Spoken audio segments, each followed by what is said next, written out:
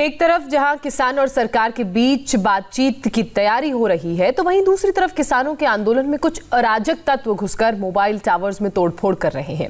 पंजाब के कई ऐसे ज़िले हैं जहाँ से जो तस्वीरें सामने आई हैं, उन तस्वीरों को देखने के बाद सीएम कैप्टन अमरिंदर सिंह ने ऐसी हरकत करने वालों को कड़ी चेतावनी दी है। सीएम ने पुलिस को आरोपियों के खिलाफ सख्त एक्शन लेने को भी कहा है।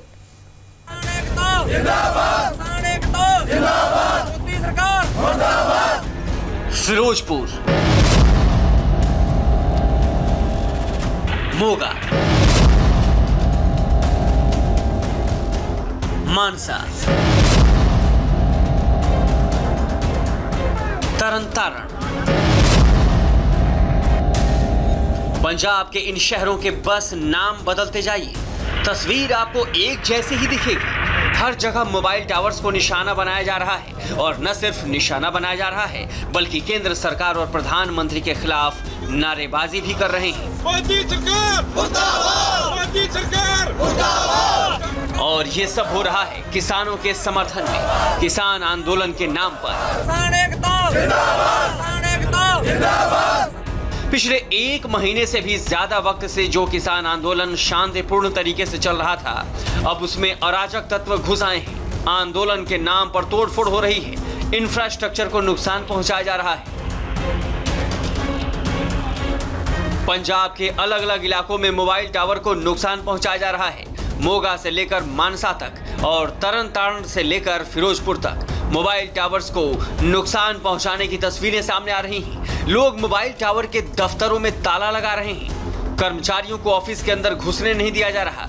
और जब कुछ पूछा जाता है तो किसान आंदोलन की बात करते हैं और मोदी सरकार के खिलाफ नारे लगाते हैं। पंजाब के मोगा में कुछ लोगों ने मोबाइल टावर का कनेक्शन काट दिया।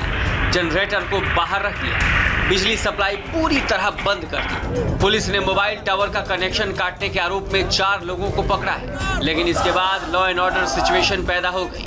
पुलिस के खिलाफ लोगों ने नारेबाजी शुरू कर दी। पता लगा कि जियो के इंजीनियर और पुलिस पार्टी साथ आई है और गाँव के पास गुरुद्वारों में भी अनाउंसमेंट हुई है। परिवार के जो भी लोग हैं, बच्चे, बुज़ुर्ग, महिलाएँ, सब इकट्ठे होकर उन्होंने जियो टावर का घिराव किया और विरोध किया। सबका कहना था कि जब तक मोदी सरकार कानून वापस नहीं लेती, हम ये कॉरपोरेट घरानों की तानाशाही नहीं चलने देंगे। मानसा में तो भारतीय किसान यूनियन के एक ग्रुप की अगुवाई में मोबाइल टावर्स को निशाना बनाया जा रहा है।